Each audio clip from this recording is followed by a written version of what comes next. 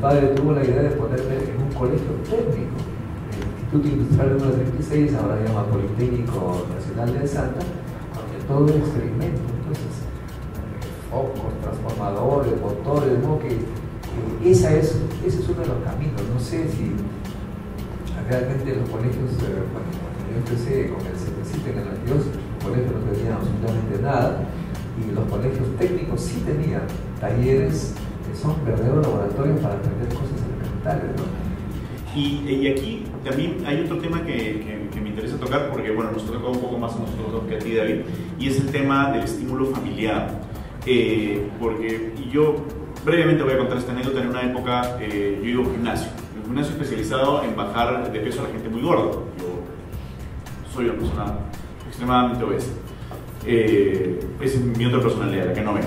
Eh, lo era hasta hace unos tiempos. Y, y, iba a este gimnasio y había una señora, y yo escuchaba que se quejaba con el, en el gimnasio de que su hija no le había bajado de peso.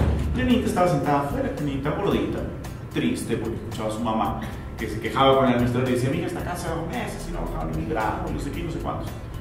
Bueno, y de repente sale la puerta de esa señora y la señora también tenía una, un enorme problema de obesidad. Eh, que no, no, era una persona gorda normalmente, naturalmente, sino una persona con sobrepeso. Y que claro, si, ¿cómo la niña va a eh, tener una disciplina alimenticia si no ve que su madre ten, tenga lo mismo? Y, y alguien me preguntaba, ¿cómo hacemos que los niños que lean? lean?